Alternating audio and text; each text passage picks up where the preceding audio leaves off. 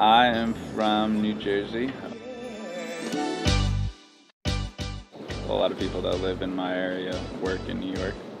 So you have the slow pace of New Jersey and beaches, but um, you see New York in the distance and you uh, you know the the workflow of New York. I'm kind of a, designer and a developer. Um, I, I, went to school for, for business. I minored in, in philosophy and computer science. After that, I went to uh, a code school. And uh, so, yeah, I learned my first language after that. And I, I worked small gigs because I really knew like that's what I wanted to do. Just kept coding on the side and that led into, you know, kind of realizing I like design too. I kind of like enjoy the full process of creating products. I, I, had come here for a couple years and not years straight. I would I would kind of live here seasonally and go go home to New Jersey and make a little bit more money and come back and and then I went back last year and got a really good job at um, a startup called Jet.com and it was uh, it was like the highest seed rounded uh, seed funded um, company. I think in, in the U.S. at least. Maybe China has a higher seed round company, but uh, it was it was as as awesome as startups go. You know, all the perks and and uh, all the hype and I mean, marketing wise, we were probably spending more on marketing than anywhere. So it was really fun and exciting to like see everywhere. We would have Penn Station all decked out and uh, and billboards, and it was really cool and awesome. And I loved the experience and the learning part of being in a company that's on that just rapid growth stage. Is you can't teach that. I mean, there was Harvard Business School was coming in to learn. It was like you really need to be in that situation to learn. There's no no college. There's no way anybody can teach that without actually without actually being in it.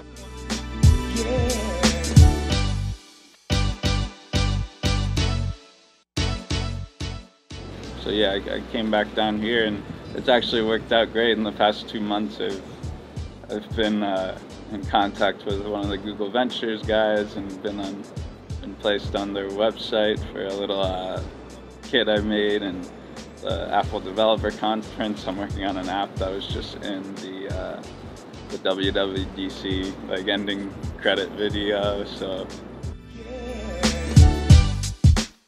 it's very different choice of which route you want to go, but I think as long as you really if you love the work you're doing and you really like follow that instinct you have, it's gonna work out either way.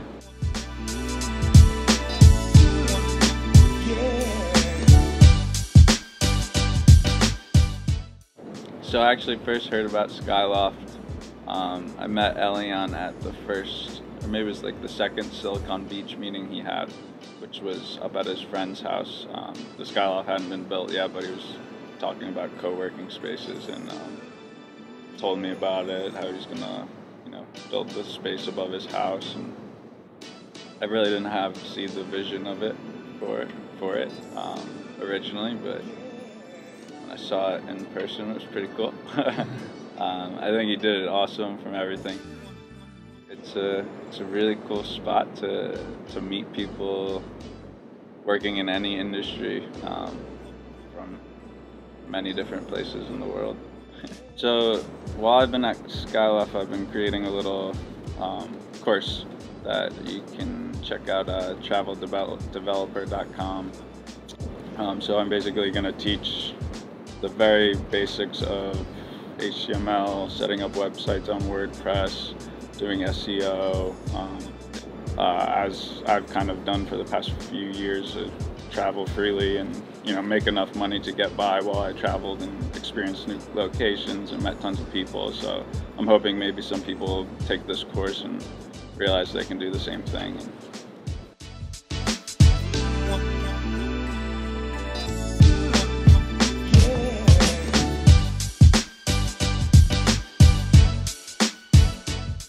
Silicon Beach kind of thought is maybe like the next evolution of uh, of workplace. Um,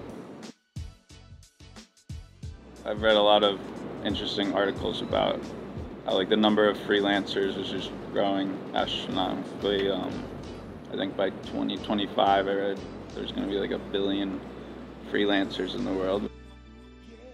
I think, uh, you know, the startup company setting is kind of pushed people out of the, the industrial revolution setting of workplace, you know, nine to five, do your certain task, like come in for those hours and repeat, repeat, get it done. The startup flow is shown, you know, to disrupt those industries.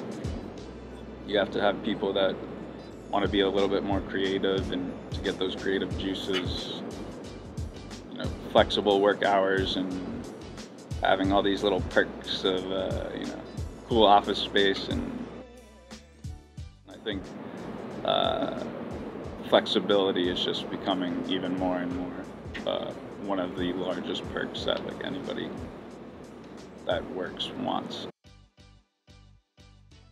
It's becoming just rapidly easier to to be able to work from anywhere. Um,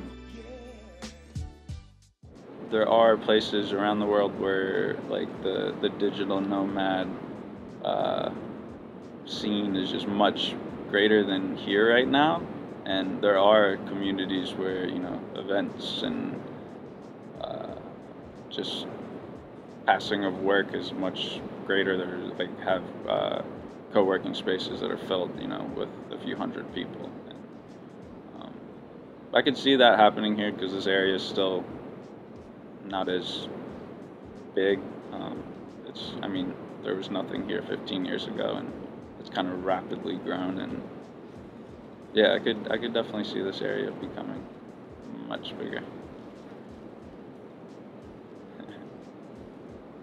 I hope so.